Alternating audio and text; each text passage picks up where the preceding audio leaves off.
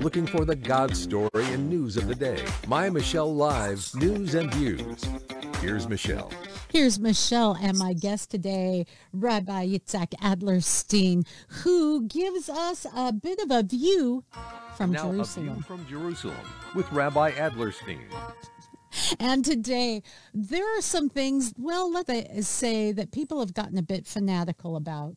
We're going to take that on and how it is your children. Rabbi, good to connect with you. Welcome.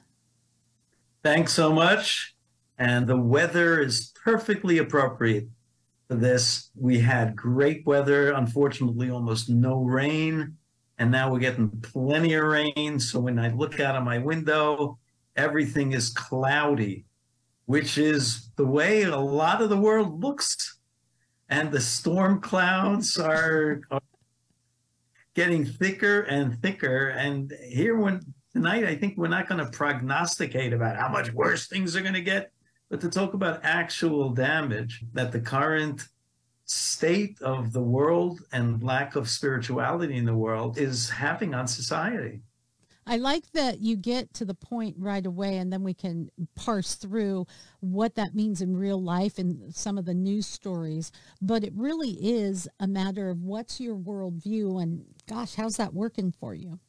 And I wanted to start off right off the bat with a lot of news stories, and this is affecting uh, particularly on the coastal cities and the blue states, strangely, it's a phenomenon among our youth and it has to do with what they identify as. Now, they say that Gen Z is more than twice as likely to identify as LGBTQ than any other generation. In some schools, they're doing polls and 20 to 30 percent of kids identify as LGBTQ.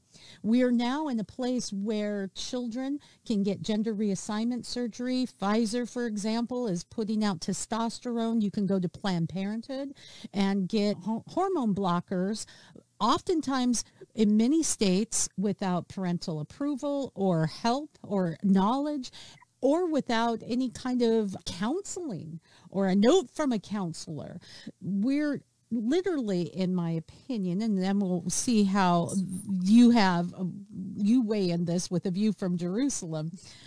It's as though we're performing genital mutilation on children before they really have an idea of the impact of their decision and it has become i would say like a social contagion. What is going on? What are your thoughts? Let's take it on. It's a painful one because there's a lot of pain being visited on a lot of people. To start with just as you say the idea that in some school districts schools are not allowed to tell parents about what their kids are expressing. So they can't really be parents to their kids. But the big ones here are that I think that there are two parts to this phenomenon. There is the the part in which new ideas, whether they're healthy or not, are contagious.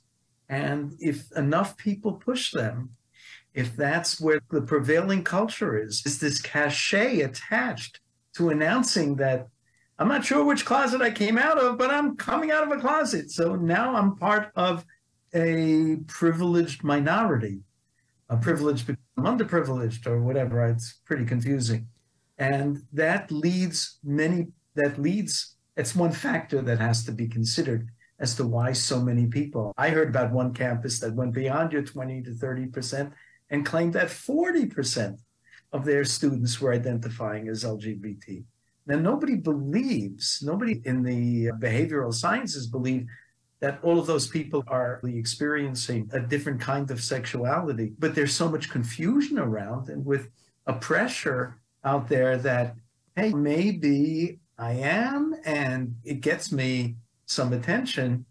So that's part of it.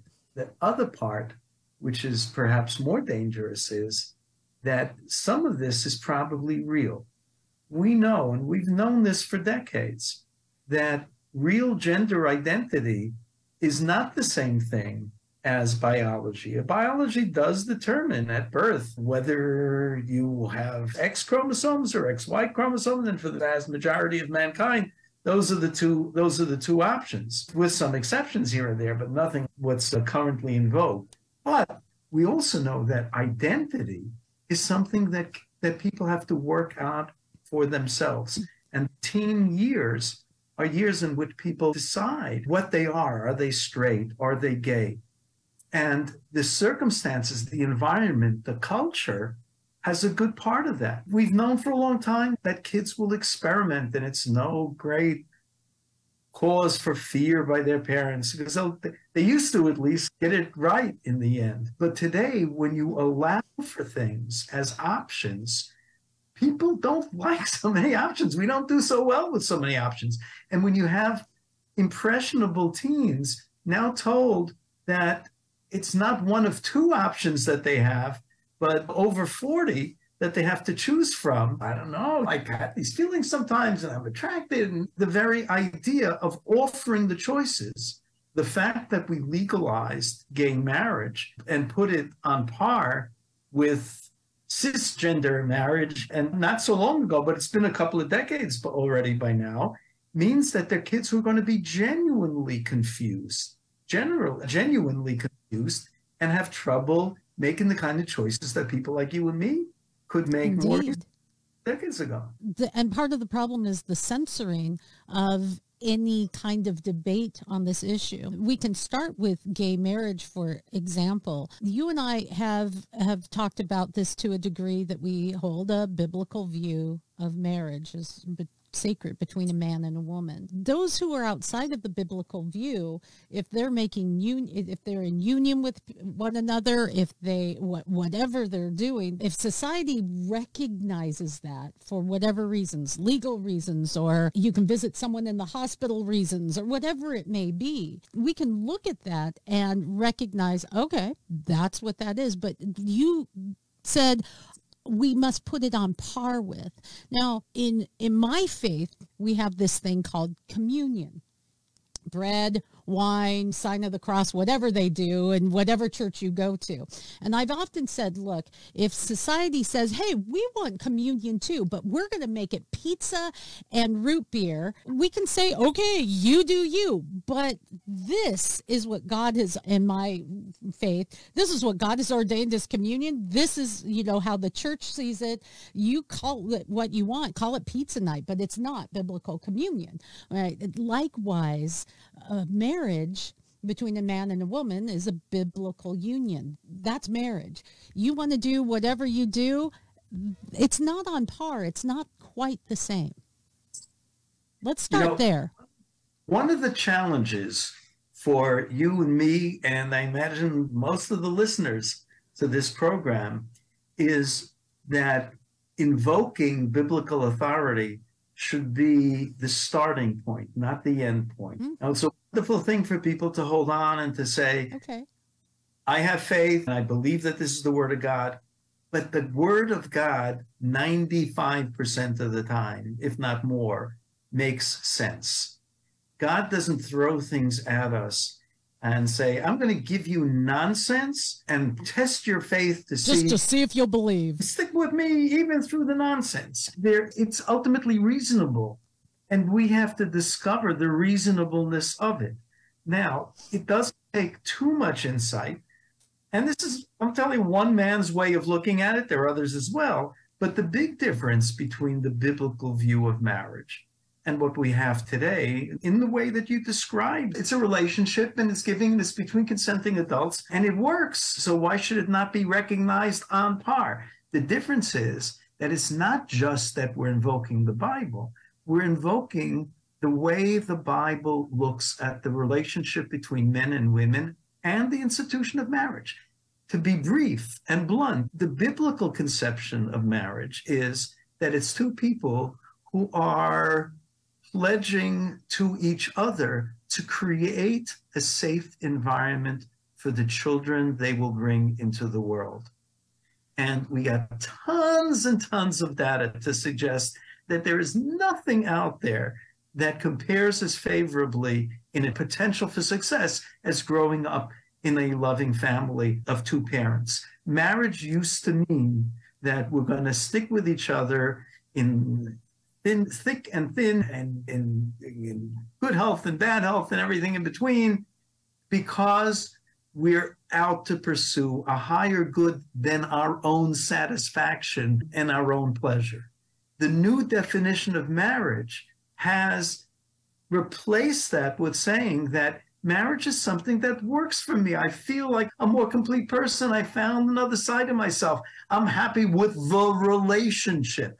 The relationship can be mutual, it's serving both of us, but that just means intensifying both of our egos rather than taking bits of that ego and mutually pledging to use it to create something new and something more and continuity and more servants of God and a platform for God's word on this earth. So it's not just the idea that we're sticking with the old time religion, but that sense and sensibility are on our side. And it's so troubling. It hurts so much for us to have to look at people if by the millions who are dooming themselves to, to, to lives that could have been, that are not what they could be, and creating environments for children that are that are bound to to be problematic for, for them and for mankind. And as we see what's happening to our children, this explosion of, I don't know who I am or what I am, I have a problem with that on a couple of levels, but two in particular. One, not being grateful for the fearfully, wonderfully made person that you are.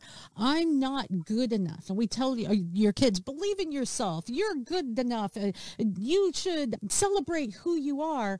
Although, if you really want to be who you are, you're going to have to look like something else. You're going to have to get surgery. You're going to, eh, what message is that really sending? And that leads to the second one, Rabbi, is that we've seen with the race issues that that there's this dissatisfaction and we have reason to be against each other. They say sex is a social construct, but in reality, race is the social construct. It's it and your sexual identity. It's just something that we socially construct. What is a man? What is a woman? The biology of it is settled. It can come in a beautiful array. I tend to be more of an outdoorsy. I don't have long fingernails kind of a girl. I'm just a little, I've always been a tomboy. Boy, if I was growing up right now, I, I'm sure they'd have me in the office trying to shove transitioning medication down my throat.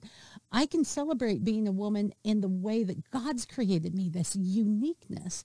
But the social constructs of race, because we're all human, and all of these myriads of alphabet identities are all weird social constructs that get us away from the true identity that we were created in and the purpose we were created for. Let's take that on because that is controversial, but I think it's key. It's beyond controversial. I don't know, please enlighten me if I'm making a mistake here, but we're seeing the growth of this wave of antipathy to religion, mm. not religion or my religion, any religion that does two things that has firm, uncompromising values and that dares to attribute them to God.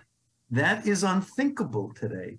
It used to be that outlier groups said, you guys are, you're Christianizing America and you're not leaving any room for us. All we want is some recognition. We want to feel that we're important as well. But it's gone 180 degrees different away from that. It's that you guys are now the threat to us. Because if you believe that there are givens, if you believe that nature is not infinitely malleable, then there may be some moral values as well. Let me give are- you an example, Rabbi. This is a real news story that just came out this week. There was a queer Disney star, and he had to come out and assure concerned fans that he's okay because he suddenly turned to Christianity. Wait, so I'm Michelle, okay. tell me and this they're, they're from- worried. They're concerned. What? Tell me this is a parody that you in the Beacon, or is this real? Yes, this is a real news story, Rabbi. A queer Disney star here has uh, had to come out, Joshua Bassett. There, his fans were concerned because he has come out as a Christian. So there's reason to be concerned. Now, there's no reason to be concerned if a five-year-old little girl go, is counseled by her teacher that you should be a man, and they start, you know, down the road to blocking puberty before she even knows what a man or a woman really is. No concern there. And we don't even have to notify teachers. But boy, this star who was queer comes out as a Christian and now we have reason to be worried.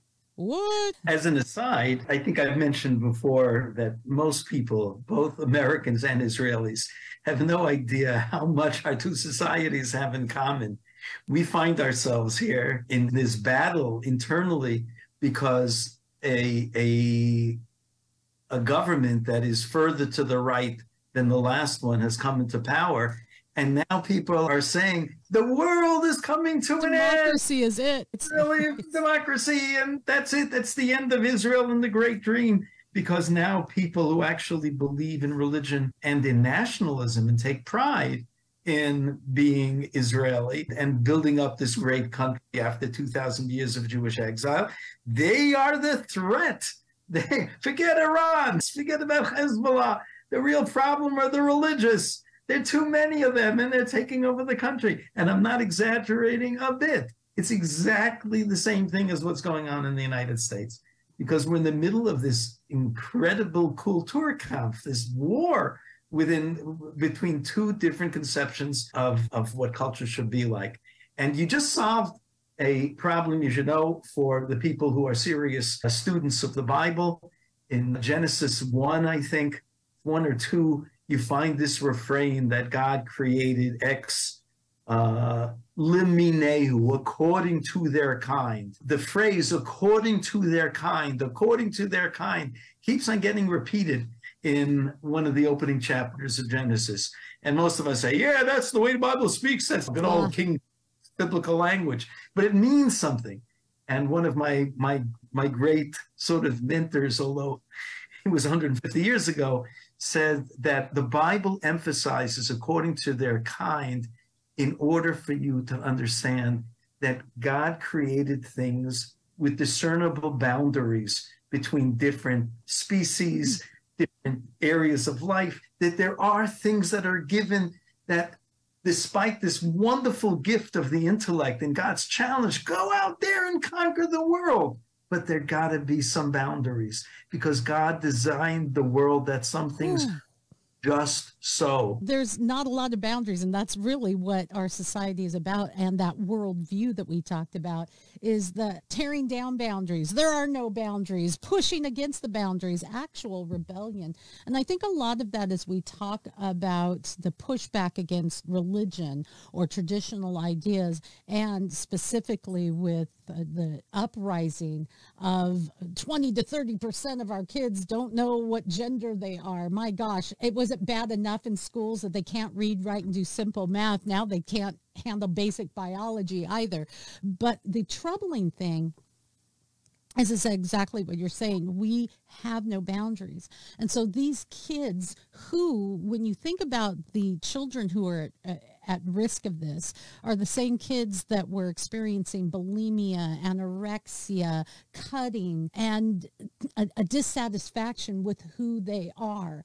Now we give them new thing to be able to get involved in. And if you can identify as something other than what you were born as, then you get this recognition and affirmation, and suddenly you can have a fast track to popularity and acceptance and victimhood.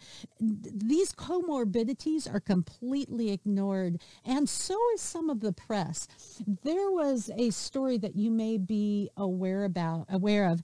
Keira Bell If you haven't heard the story of Keira Bell, it is likely because you live in a society where they really like to downplay some of the the news stories that don't go along with the narrative. And Rabbi, for the interest of our listeners, Bell is a girl who is a transgender. She went, she sued a nas- the National Gender Clinic in the UK because she said she didn't have counseling. She was just transitioned. Thing she had breast augmentation, things cut off, and so she sued and she won.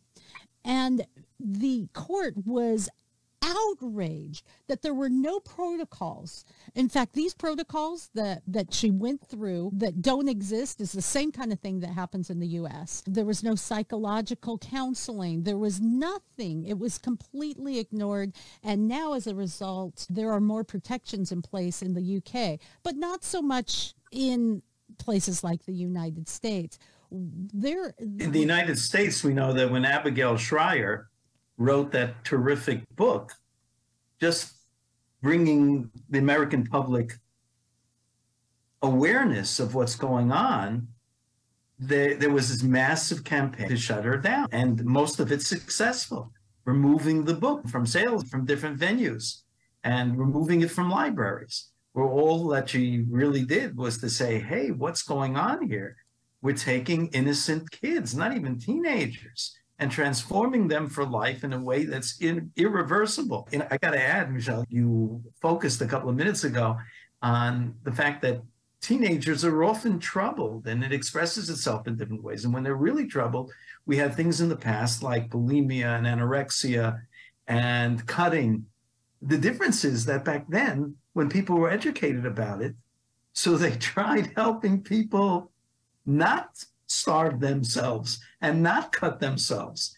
But this is the first time where this this acting out is encouraged by society and will pay for it. And they're come on, jump down the rabbit hole. So you're saying with that same logic, if a girl's cutting herself, will you identify as, an, as if you're bulimic? Will you identify as a fat, as a skinny person, even that you, you, we would just affirm that problem instead of help that problem? Now, I know that as you mentioned, uh, a, a very small percent of us are not born right. There's things that are off, the XX, the XY, whatever it may be, are sometimes off. Our mental capacity may be off. We should be there to help people and support people. And honestly, as an adult, whatever road you go down, full disclosure, one of my best friends is a male that has had breast augmentation and a brilliant and beautiful person and very precious to me. And but it's a struggle. It isn't just a oh yay woohoo everything's great.